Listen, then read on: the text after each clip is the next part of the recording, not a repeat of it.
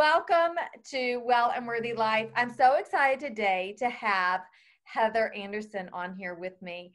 Um, Heather and I met through a mutual friend, Kathy, the Middle Page blog. And um, so, and I started bother, following Heather way, way, way before I actually met her and loved her style, loved everything about her. And then I actually have gotten to meet her in person one time, but we've talked several times. So, Heather, thank you so much for joining me today on the podcast. Of course, I'm so excited and honored that you asked me to be on it. So, I'm just really happy to be here. Well, it really is. It's, I remember, um, I, I guess you, I, I can't remember exactly um, maybe because uh, you and Kathy have been friends how long now? I would say uh, probably eight years. That yeah, maybe even nine years because we met uh, maybe like six months after we both started blogging. So it's been I'd say eight or nine years. So a long time ago. yes, and is that how y'all met blogging? Yes, exactly. That's how we met. We were at uh, the World uh, Market Trade Center one day, and we were with a group of influencers, kind of getting a tour of the place. And her and I just sort of hit it off because, as you know, Kathy is like one of the nicest people in the entire world, and she's so kind to everyone. And so her and I just started talking, and uh, we just became fast friends. We have so much al- uh, alike, I feel like, and also we just really connected. So she's yeah. been one of my really dear friends ever since know, Kathy, ugh, I just I love her. You know, she was actually, I don't know if you know this, she was actually on my, she was my first guest on the podcast when I started. Oh, I know. Yeah. I did know that. I'll have to listen to that episode for sure. Yeah. Um, in fact, because she's due to come back on. We talked about reinventing ourselves and um, okay. you know and so it was it was really a good podcast but um but yeah so i remember when y'all became friends because she told me about you and then i started mm-hmm. following you and i was like oh my goodness she is so beautiful and um Aww, you, you are you're so you look amazing. well so are you oh you're so i'm like so, but you are a little bit younger than me. How old are you, Heather? I'm 47. I just turned 47 uh, November 16th. So, oh, yeah, wow. approaching 50. yeah. You still yeah. got a ways to go. yeah. But um, wow, wow. So you started blogging though. How old were you then when you started blogging? So yeah, I guess I was. Let's just say it was uh, well, eight or, eight or eight or nine years ago. So I was probably 38 or 39. Mm-hmm. I would say I'm, I would say I was 39 because it was right after my dad passed away. Wow. Because my dad actually kind of put the idea in my mind, not really of blogging, but of becoming a personal stylist or wardrobe consultant. That's kind of what I did in the beginning before I started blogging. I would, I started my own business as a you know, personal stylist. And so I would meet with women like one on one, you know, helping them clean out their closets and then meeting them at a dressing room. And I would pull things from different stores and I would have the dressing room all set up, like with the clothing, the, the jewelry, the accessories, the shoes, handbags. So they just came to that one dressing room and then they could, buy, you know, have a, a plethora of items to help, you know, build their wardrobe. And so and I was just charging by the hour, but that got to be very time consuming because I could only meet in person one on one with someone's, you know, so, so much. And so then I thought, oh, that's when fashion blogging just started becoming a thing. In fact, I think there were only two bloggers that I knew of, one being Sea of Shoes and the other one was Atlantic Pacific. In fact, and I, I want to say Atlantic Pacific. Do you know who that is? I don't. Okay.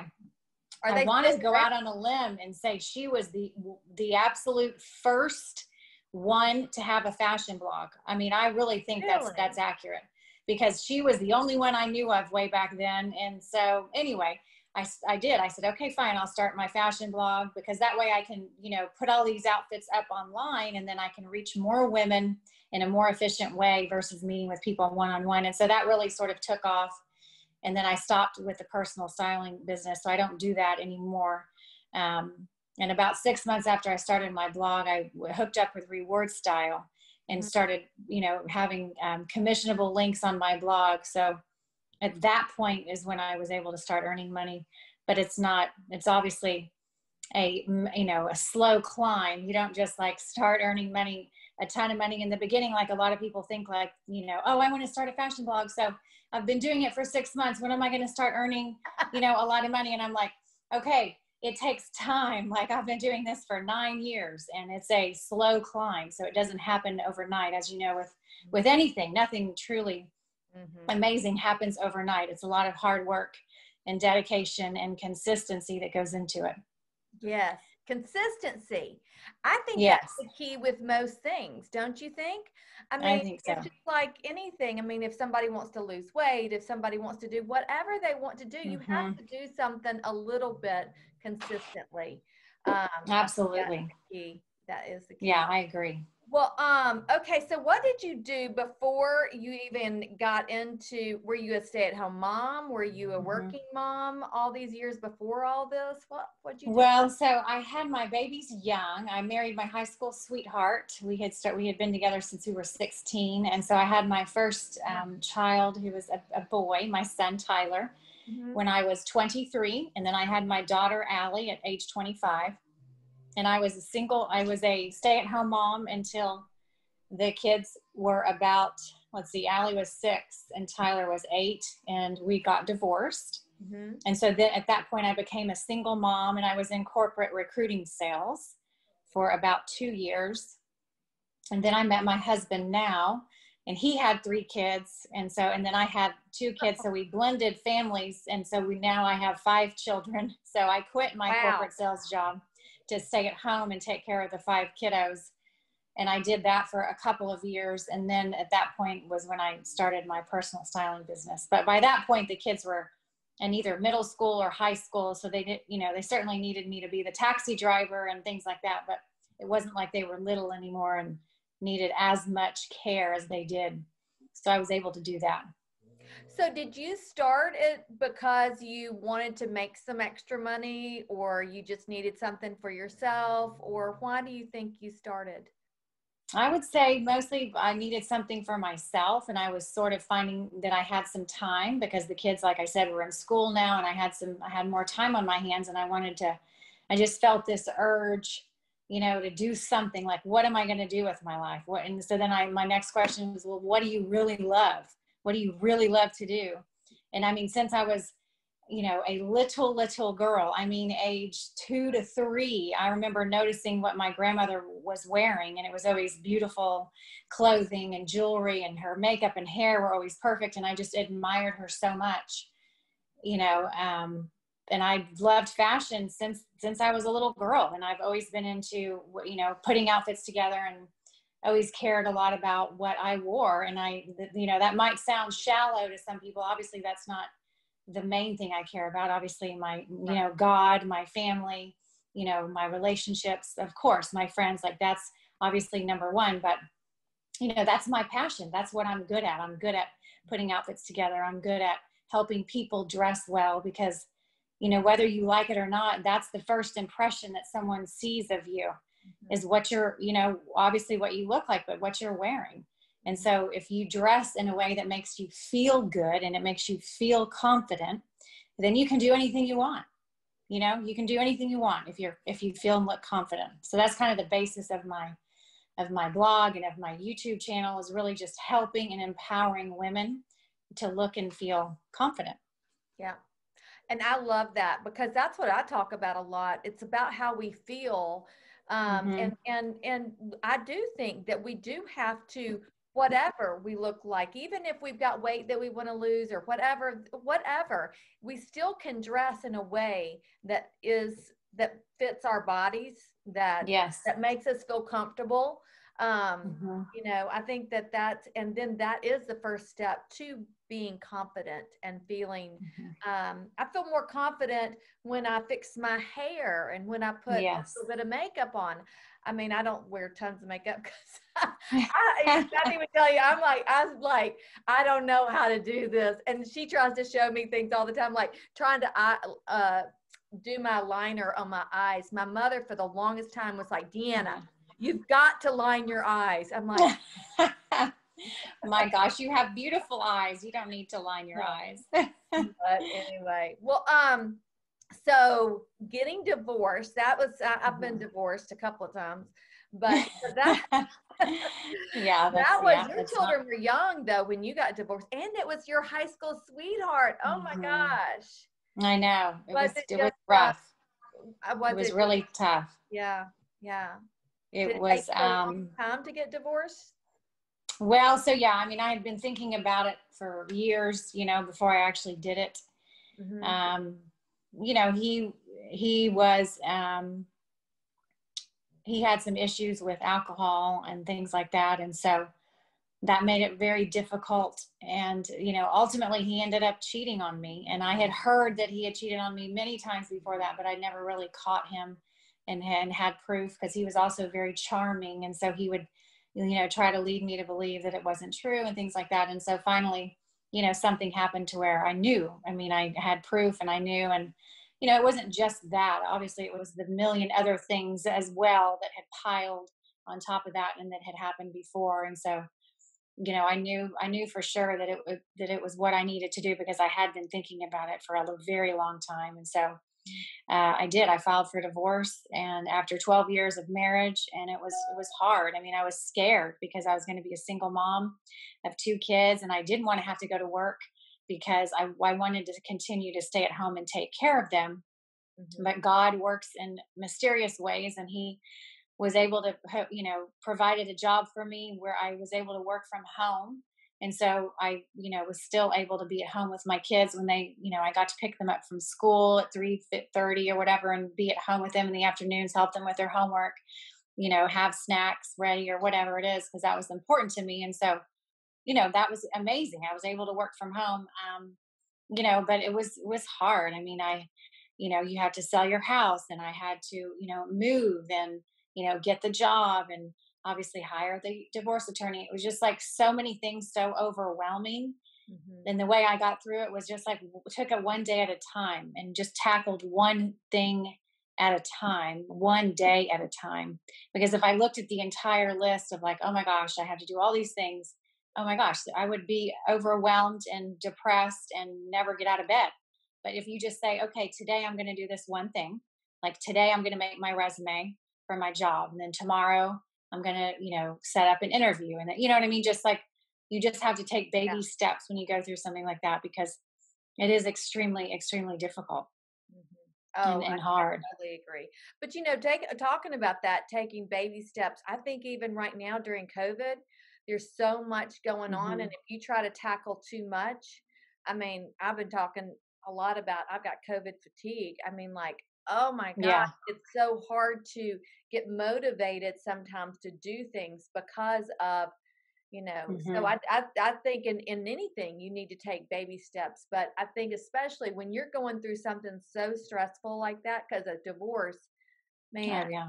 it's a yeah. I would not wish that i've always said i would not wish that on my worst enemy. Yeah i've said that exact same thing. That is so true. not a fun thing at all um so no it's not but i think ultimately you have to think about your own happiness and you and because no one else is going to you know take care of you like you're going to take care of yourself. And so it might sound selfish at times but it's not you know you just you have to do what makes you happy mm-hmm. you know? Yeah. And if that means cutting someone out of your life well so you that's what you have to do right. you know? Right and there can be light on the end of you know at the end of the tunnel um so i mean you went through that and then so you were single a couple of years then mm-hmm. yeah single a couple of years and then the, actually the boss that hired me to work uh, in corporate sales recruiting sales mm-hmm. is the one who set it set me up with my current husband brett and so oh. that was another i think another god thing there and um yeah we went out on a date and the rest is history. I mean, we just hit it off right away, and we've been married for 12 years now, and I think all the kids are in college, so we're now empty nesters officially. Our last one finally went off to school this year to University of Alabama. So we actually had two go to Alabama, and then my oh. daughter goes to Texas Tech, and the, our other daughter goes to Boulder, and then Wyatt went to Sewanee in Tennessee. So we had five well, really four of the five were in, in different colleges in different states. so oh my crazy. gosh. Oh my goodness. Yeah. So now, um, when y'all got married and he had three, you had 2 mm-hmm. and that was not mm-hmm. easy, I would think. No. Oh my gosh, it was so, so difficult for sure. I mean, because you have all these different dynamics and different, you know, the girls had some issues. They were in the same grade actually. Oh. So that was really difficult because they sort of competed with each other. And then our boys, our older boys were also in the same grade. Um, and one which in these two pairs were one grade apart. So we had four of them, like all sort of in the same, you know, mix of friends and everything. I mean, the kid, the boys got along really well. The girls get along great now, but mm-hmm. for a while they they kind of struggled a little bit. But yeah, it was definitely difficult. I yeah. see. Um, and then of course it it created a lot of stress between uh, Brett and I because you never really treat your. I mean, we had a therapist tell us this, like you know you don't you it's impossible to treat your stepkids the same way you treat your own kids and and you shouldn't and she, and they said that's okay as long as as long as as long as they know it and and and, and brett's kids realize well then they're since he's their real dad you know he isn't going to treat my kids the same way he treats his kids and and same with me. So as long as so it kind of makes it fair that way. And of course you try to you know we tried to be fair obviously but you know it's just you want to protect your own kids and of course you want to protect his too but i mean there's just we you know it was very very difficult and it was very difficult on our marriage for a long time and um but we you know we got therapy for it. I think i'm a big um believer in therapy. I think that if you are struggling whether it's in your marriage or just just alone just as a person like i've been getting therapy since i was you know in my 30s and so and my daughter gets it you know i think it's like the best thing ever. I mean i couldn't have gotten through life without my therapist Mm-hmm. So she helps me so much every day. Yeah. Um, oh, I totally, totally, totally agree with you. Um, okay, but so now y'all are empty nesters. So y'all have not ever been where it's just now it's just the two of you. Mm-hmm. You're like, wait, what's going yeah, on? Yeah, wait, I know.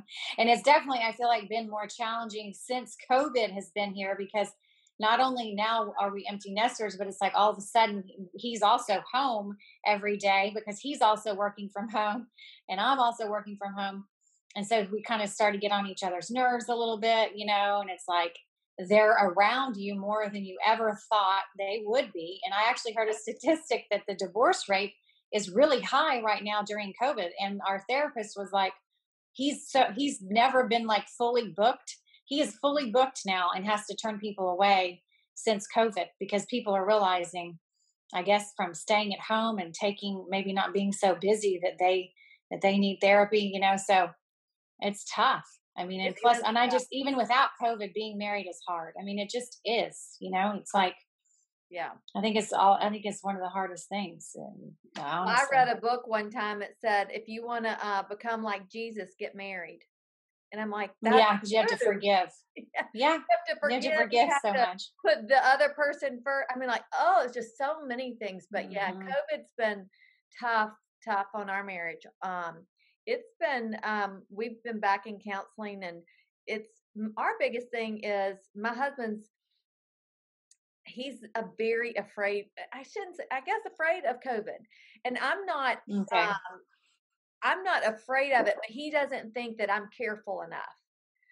Okay. So it's almost like I told we talked to our, our counselor last week, and I said um, I feel like I should just move down to my my um, our beach house so that we live separately. Yeah. And she said, believe it or not, some couples are doing mm-hmm. that right now because yeah. of I know because I think everybody has a different view on that.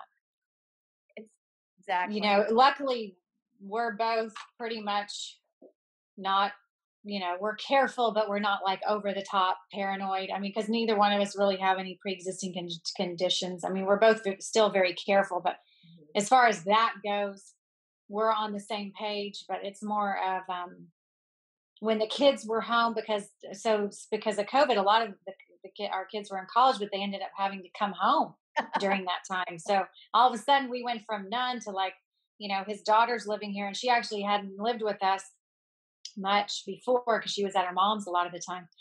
And as you can imagine, we, you know, her and I butt heads a few times. And, you know, of course, I want him to stand up for me. And, you know, that was difficult because, you know, sometimes he wouldn't in a way I thought he should. And, you know, it's just it's just hard, and Mm-hmm. I don't know. It's just really hard. I agree. I agree. It is hard. It's hard, but it's worth it in the end. It is worth it. And I think that anything worth having is hard sometimes. I mean, and it's just um, yeah. and then and then it's you'll have your times where everything's good, you know, and then hmm you kind of have Yeah. your lulls and you know.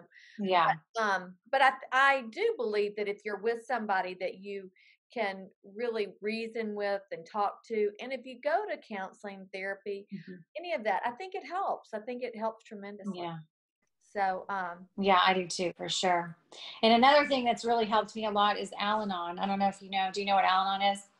isn't that for um, people that have, um, I think, alcoholics in their family? Well, so actually, so AA is for alcoholics. So AA is Alcoholics Anonymous. And then Uh-huh. Al Anon was created for the family members of the alcoholics. Okay, okay. And so it, and so because my ex husband was an alcoholic, and because my I grew up around a lot of heavy drinking, and then my daughter is an alcoholic, and she has been in treatment. She went to a treatment center when she was a senior in high school, and then she relapsed, and then she went back to treatment a year ago. And this last Tuesday, she just had her year anniversary of being sober Yay! and Oh, so I'm I'm awesome. so happy for her.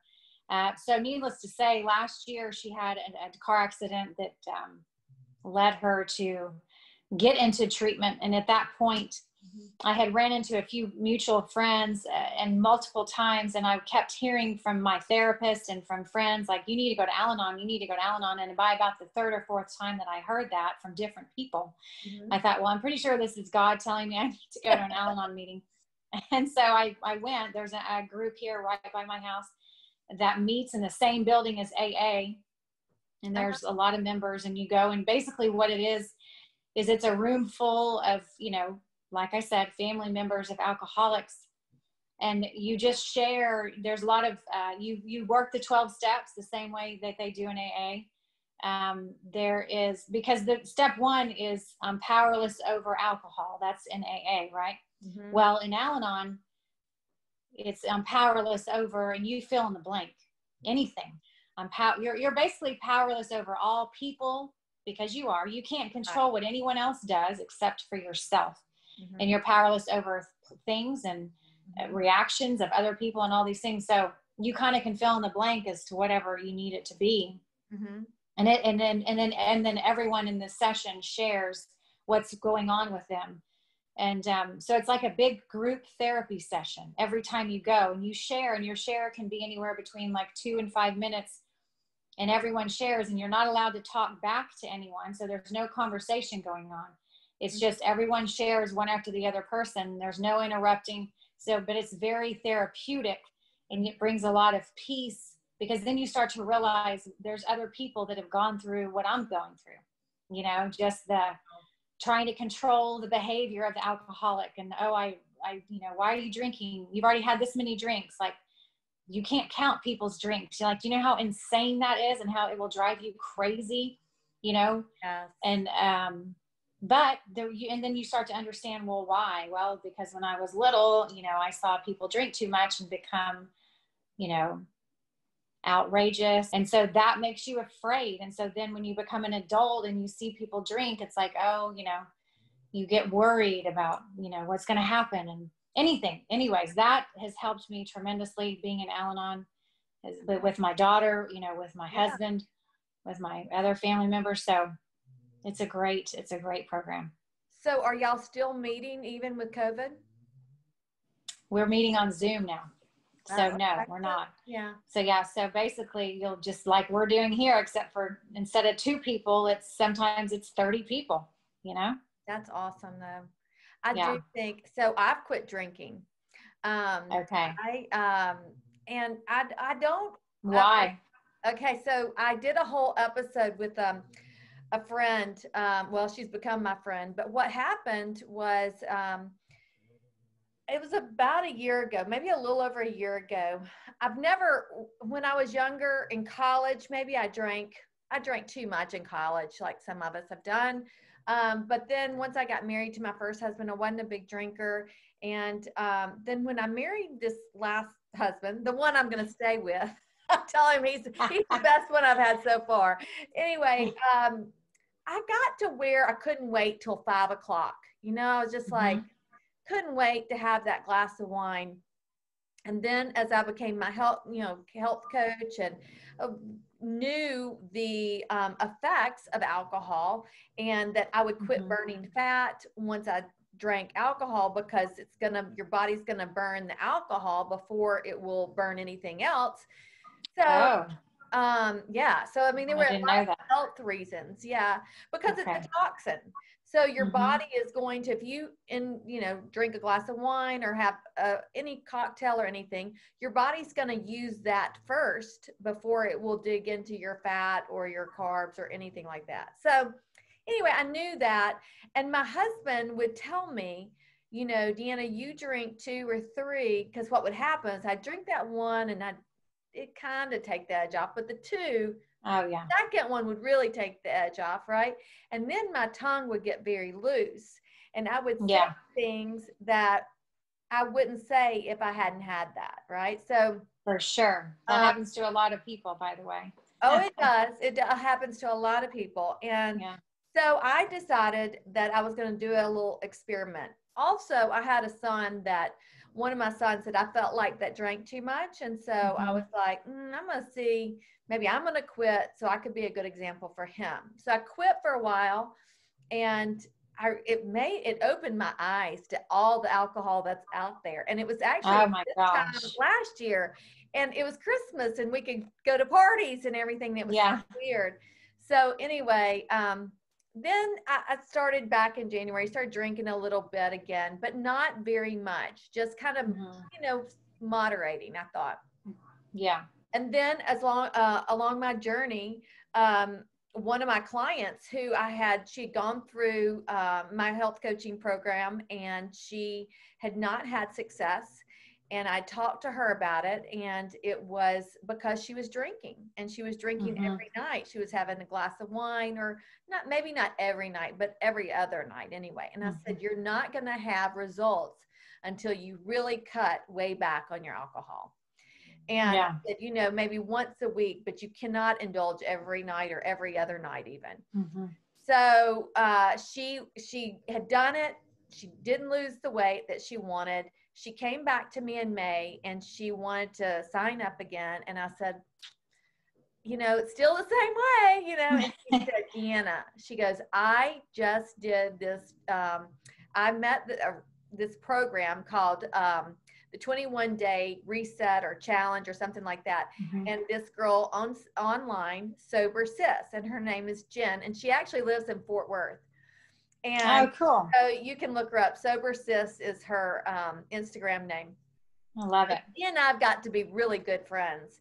And so she has a 21 day challenge. And so I was like, oh my gosh, all of my clients need to do this. Yeah so sure. it got me very um, curious. She calls it sober minded. She calls it sober curious, all these things. And I love it. Um, and she has this great program because there are so many people, especially right now with COVID, drinking yep. so much, right? And yeah. um, so anyway, it's a great program. So anyway, I, I then I started trying to. I, I, went through her 21 day challenge. I didn't drink it all again, mm-hmm. and I mm-hmm. was like, oh, okay, I feel pretty good. But then I thought, you know, maybe I want to moderate some. And I tell the story on another episode with her, but on my birthday, which was in September, I was 55, hadn't been drinking at all. My mm-hmm. son comes in with um, a bottle of wine. And so I'm thinking, for dinner, I'm going to have one glass of wine. This is going to be just one glass of wine. I can moderate. Yeah. So I had that one glass of wine. First of all, it was an $80 bottle of wine, which we never buy expensive bottles of wine.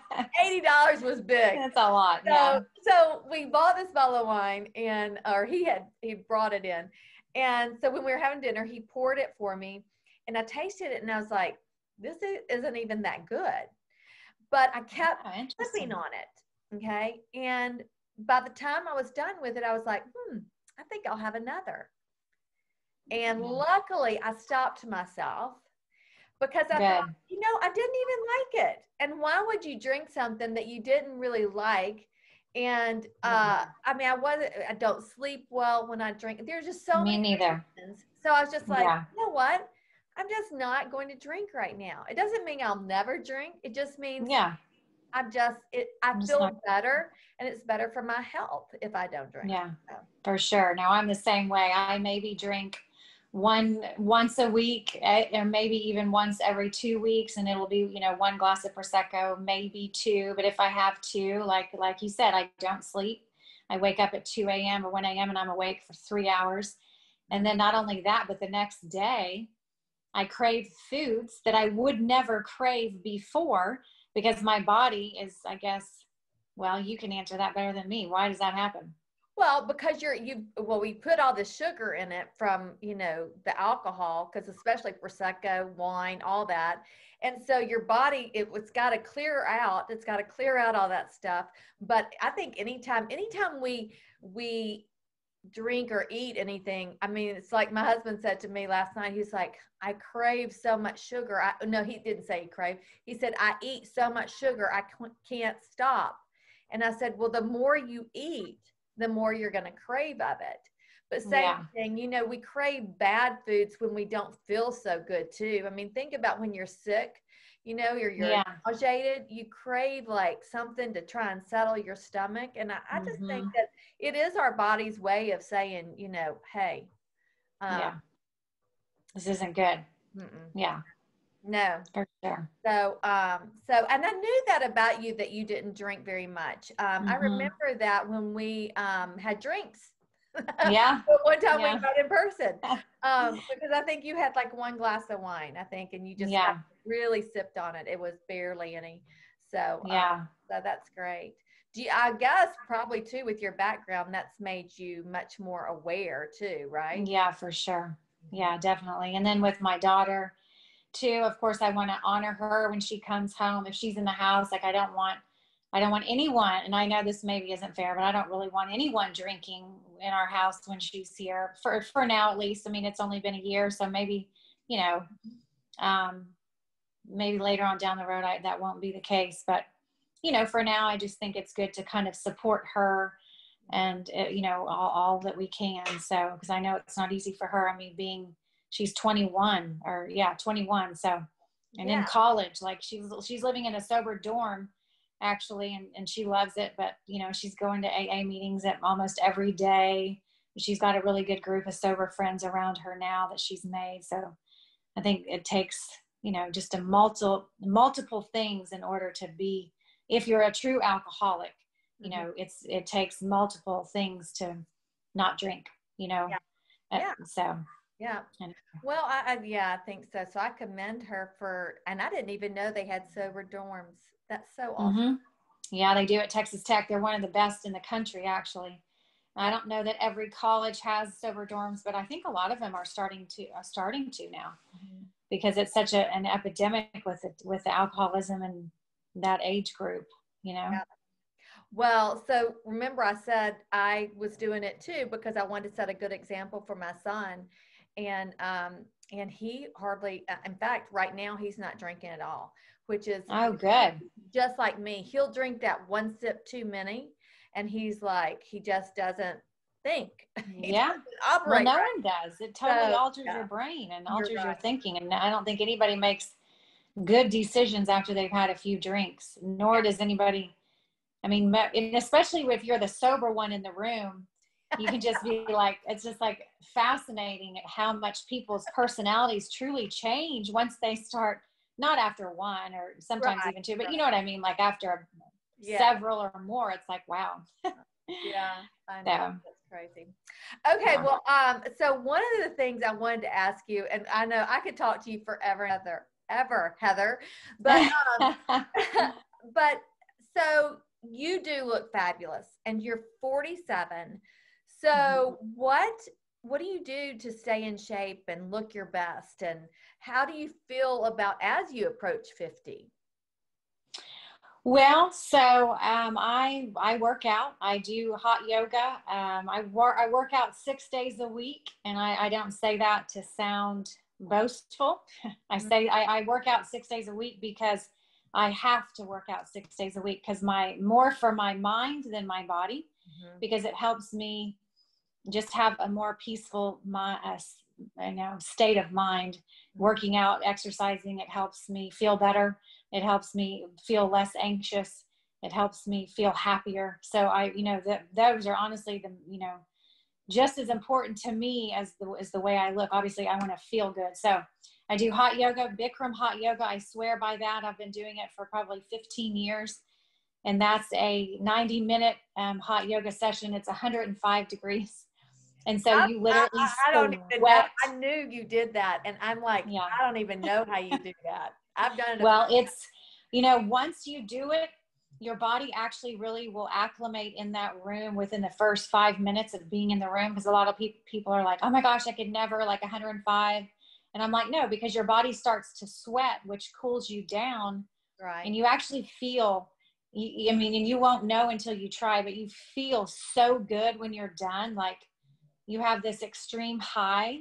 Mm-hmm. you, you feel exhilarated you feel energized you feel cleansed you feel i mean it's amazing. It's so good. So that's why i love it so much. Um, and anyway so i do that three days a week and then i do um, I'll do like a well before COVID, I was going to the gym and doing like a lightweight workout class, you know, maybe like a 60 minute class with light weights and cardio mix. But now that COVID's here, I haven't gone back. I have gone back to the hot studio, the hot yoga studio, but I haven't gone back to the gym yet. So now I just do classes on my iPhone, just like a 30 minute weight lift with cardio or you know that's pretty much what i do so i just bought myself some hand weights mm-hmm. and then i'll do different classes on what youtube classes? you know i do uh, this uh, the Sculpt Society. I like Megan yep. from the Sculpt Society. She's awesome. This morning, yeah. Yeah. Okay. She's so good. And then um, there's this band workout that I do on YouTube.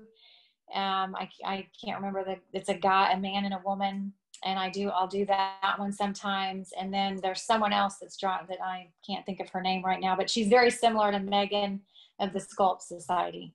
Okay. And then I just most recently, I'm talking. I've only done it twice but every Friday, I've started going with my friend Tiffany. She's also an influencer of uh, Street Style Squad. She's one of my good friends too. But is this place called 9020, and it's it's basically what that means is a 90 minute workout in 20 minutes.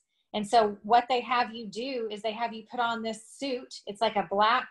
It kind of looks like a um, a scuba diving suit, but it stops at your knees and stops at your arms, and it's uh, this suit that's on you and it vibrates all your muscles. And so, and as it's vibrating your muscles, you, you lift light weights and you do different exercises in this 20 minute period. And it's like, it's like I said, it's like a 90 minute workout and only 20 minutes because you have this suit on that's, that's, you know, vibrating and, um, I don't know what word I'm looking for, but, you know, basically just like working all your muscles because it's vibrating all your muscles. And so it's the weirdest feeling. And so, you know, after you, but the suit, it was written up in like all these workout magazines, like, you know, it's really cool. And so I've been doing that. And he said that you'll start like seeing, you know, results. Um, maybe you get, you're certainly not going to lose weight from it because like you were saying, and this is also what I believe, because I've done a couple videos on my YouTube channel as well about um, you know health and fitness and things like that. But that obviously what you eat is is i would say 80 to 85 percent of you know responsible for the size you are and the way you look versus working out. I mean you could just not work out but if you ate clean and ate healthy you would not be overweight. You wouldn't. Right. so because eating is so much more important than i'm not saying you don't need to work out you do obviously but i'm just saying that, that what you eat is way more important than than exercise and so, but he said that this will tone your body, you know. But like I said, I've only done it twice, so I can't say yet. But Tiffany looks great and she swears by it. So I'm like, okay, I'll try it. So I'm going to start doing that every Friday to kind of mix it up because I do get a little bored with the same thing, you know. Yeah. But then to kind of piggyback on what I was saying before about the eating. So what I eat is more of like a Mediter- Mediterranean diet. So I eat a lot of salads, eat a lot of fish, I eat, I eat nut, I snack on nuts. I snack on, um, you know, gluten-free granola. I snack on you know, hard boiled eggs, um, you know, fruit, uh, lots of fruits and vegetables. You know, um, I have a smoothie, a protein smoothie every morning of um, with vegan protein powder. I put spinach and blueberries and coconut water and things like that um, in that, and I, you know, have that every morning almost.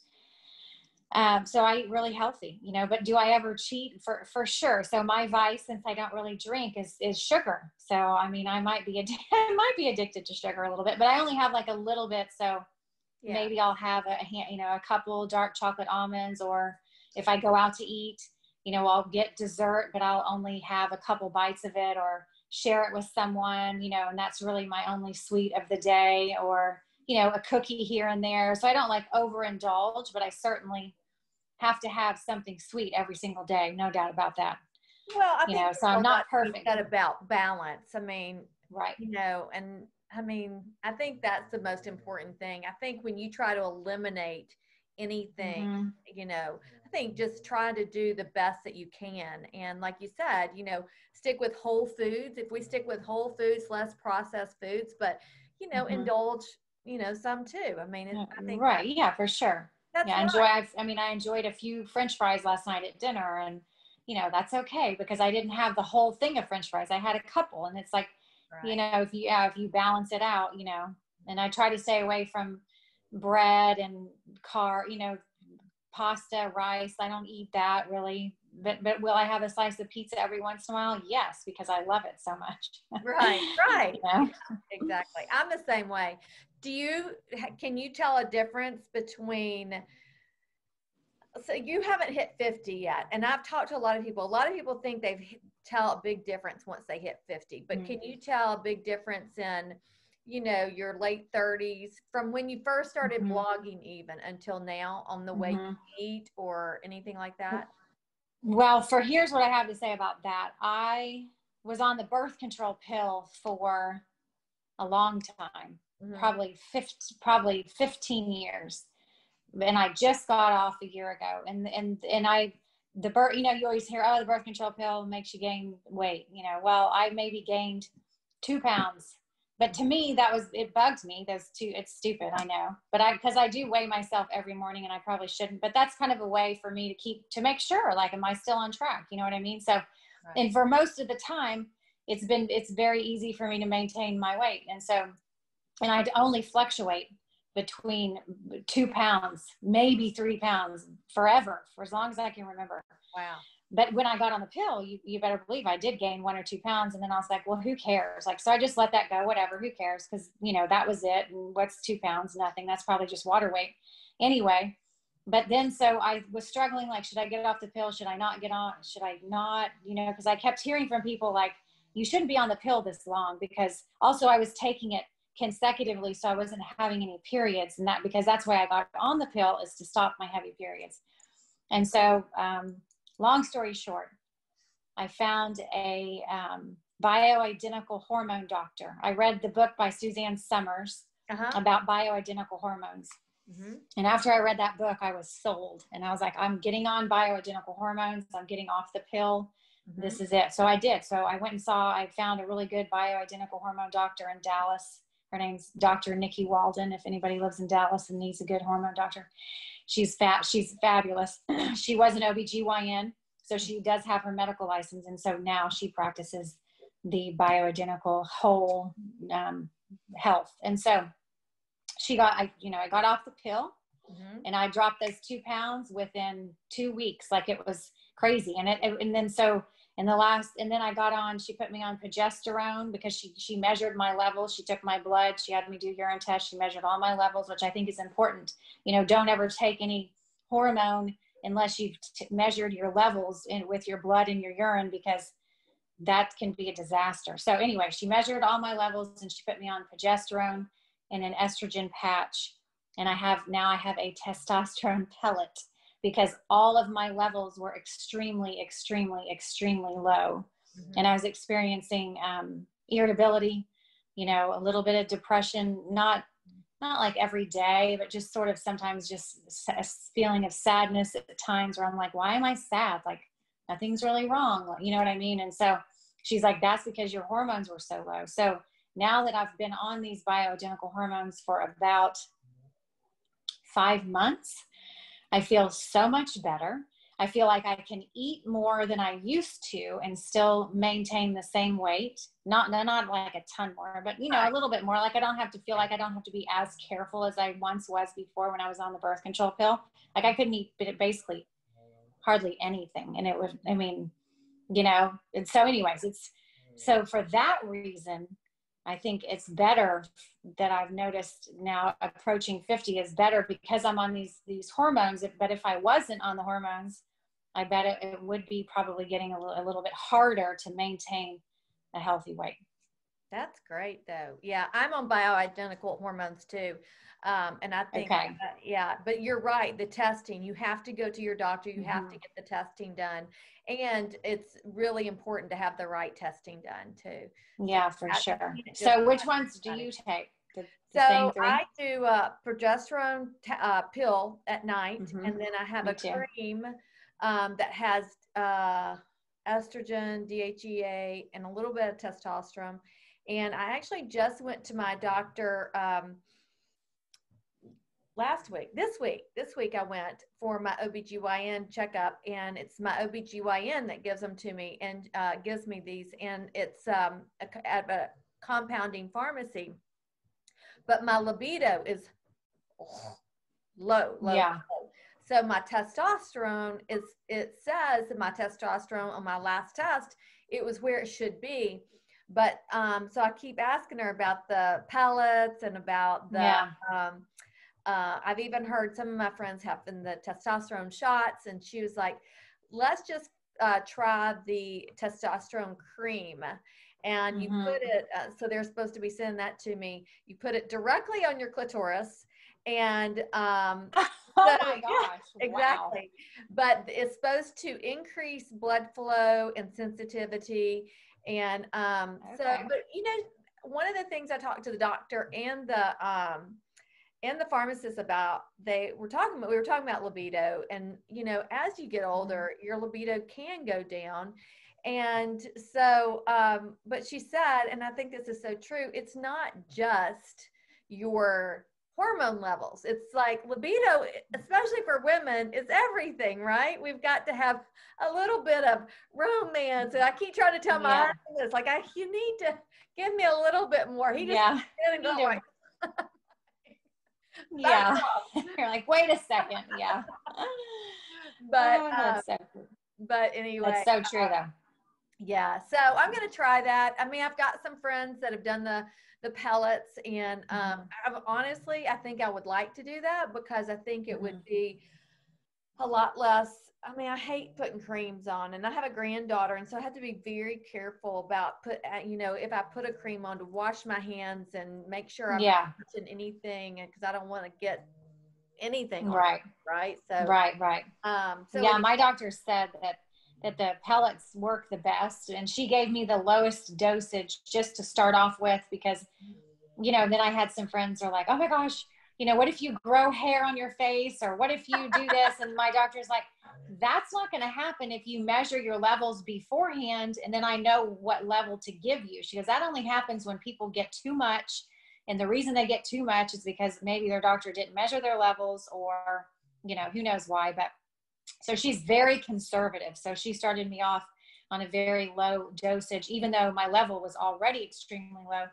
Uh, but the main thing I noticed was energy because normally before the testosterone i would feel tired by you know four o'clock in the afternoon i mean because i do get up by six or six thirty but still but now i mean i'm not tired one bit until bedtime you know and i do yeah. go to bed early i go to bed like nine o'clock every night my kids make fun of me and do you sleep i do and i well it has helped me sleep better i will say that these these hormones for sure Mm-hmm. But actually, in the last, I would say week or so, I haven't been. I've been sleeping okay, but like I will wake up in the middle of the night, maybe for like an hour, and I think it's because I'm due for a new testosterone pellet next week. Uh, and so she said, you know, because you it lasts three months, and she's like, at the end of your three months, you're going to start noticing some of these other symptoms coming back, like sleeplessness, like maybe some a little bit of irritability, a little bit of anxiety, like uh, I don't know if that has anything to do. I don't know if uh, anxiety has anything to do with testosterone levels. Actually, now that I say that, uh, I don't. Know. I don't think so. Um, I think it's mainly the energy. Yeah, yeah, yeah. And the sex and every, you know, the libido, which right for me, that's that's been pretty good. I guess you know. I, I, I haven't really noticed. like noticed a ton of the difference with that, but yeah, right. oh gosh. Um, okay, well, like I said, I could talk to you forever, but we do need to wrap up. But I want to ask you one more question. What would your perfect day look like? Oh my gosh. Well, that's a good question, and that's um, interesting because this summer I had a day at my went out to my brother's house in Fort Worth. He lives in Fort Worth, and he has a swimming pool. And so my uh, i was there with my mom and both my brothers and their wives and my brothers to my niece and nephew and then my kids were there tyler and Allie. and it was the best day. We well we we, sw- we swam together. We played fun games in the swimming pool. You know we ate together. I think we had i think we ordered pizza and you know had birthday cake and it was just so much fun. Just laugh. We laugh. I always laugh so much I'm around my brothers. They're just hysterical. They remind me so much of my dad, and I miss my dad so much because he died. I lost him to lung cancer about 10 years ago. So anyway, and after that, we, we took a ride in the golf cart with with all the kids and drove down to the lake and you know and then at the end of that day I, I really i wrote that in my journal i think either that night or the next day and i wrote basically was like if I had only one day left on this earth, this is how I would want to spend my day. You know, with my family, at my with with the people that I love, just a simple day in the summer by the swimming pool, laughing with my brothers and my kids, you know. Oh, I love So nothing fancy. That's yeah, that's no, that's so perfect. So perfect. Well, okay, so I lost my dad. Eh, I think you and I have a lot in common. I didn't realize so my dad died when I was 28 of esophageal oh. cancer, and I was daddy's girl, and I bet you were too. Me too. Me yeah. too. Yeah. And yeah. Oh gosh. How I'm many so brothers do you have? I have two brothers and I have a sister, but oh. yeah, so but my sister is not I'm not really close with her. She's actually my half sister. And we have the same we all have the same dad, but my and then but my brother, my younger brother and I have the same mom and then my older brother has has a different mom, but he's, you know, I'm still really close with him and it's like he's my real brother. Like, you know, I don't mm-hmm. say half or whatever, but anyway, so yeah, I was, it was tough though because yeah. my dad was always my biggest supporter. He was always my biggest fan. He told me I can do anything I want to do as long as I work hard. You know, um, he was at every single game I ever played, every single game my kids ever played. He was with me through my divorce. We would go to church together. Like, I mean, it's still, and I'm sure you too. Like, it still gives gives me a lump in my throat to think about losing him. It's just, it's awful. It is. I miss him so much every day. But yeah. your mother's still alive. Yes, my mom's still alive, and she's amazing, and I love her so much, and I love getting to spend time with her. She's also very healthy and active. So I took her to Paris I saw Not that. this I last year. So jealous of that. My mother died five years ago, so I saw when you took your mom to Paris. Mm-hmm. I was like, oh, how much fun y'all had. Oh, we had so much fun. She's like one of the happiest, most positive people I know. She's always in a good mood and always finds the silver lining. So that's like one of the most amazing things that I love about my mom and admire about my mom. She's just always so happy and positive. Oh, oh gosh, that's yeah. Well, you're so yeah. lucky. You're so lucky to still have her. Um, I know, I know. Because you are right. Like you said, a lot of people don't. Well, how did you lose your mom? Cancer. So oh, you know, gosh. so yeah. So my mother, my dad died at 59 of cancer. And, wow. Um, so my mom at 54 was a widow. And oh no. Mm-hmm, so she was actually just a, a, year younger than I am now. And uh, so then she met and married my stepfather in two weeks. Crazy, right? And um, two weeks after she lost. No, not weeks after. She know? It was a uh, not a year after my dad died. It was like maybe 10, 11 months maybe after my dad died. Okay. Like 10 months after my dad died she met and married my stepfather. And um, okay. she was like 55 then, and then she got cancer at 60, but she didn't die then. What kind?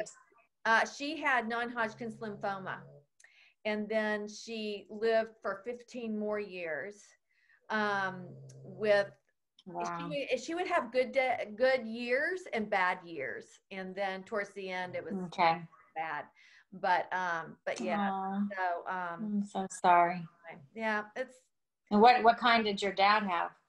he had esophageal cancer so Did he smoke? He had smoked a pipe when i was a little girl but i don't believe that's what it was because he'd quit and was very adamant about not being i think it was more reflux. He had reflux all the time and he Oh, had, he always i remember him always having rolaids with him.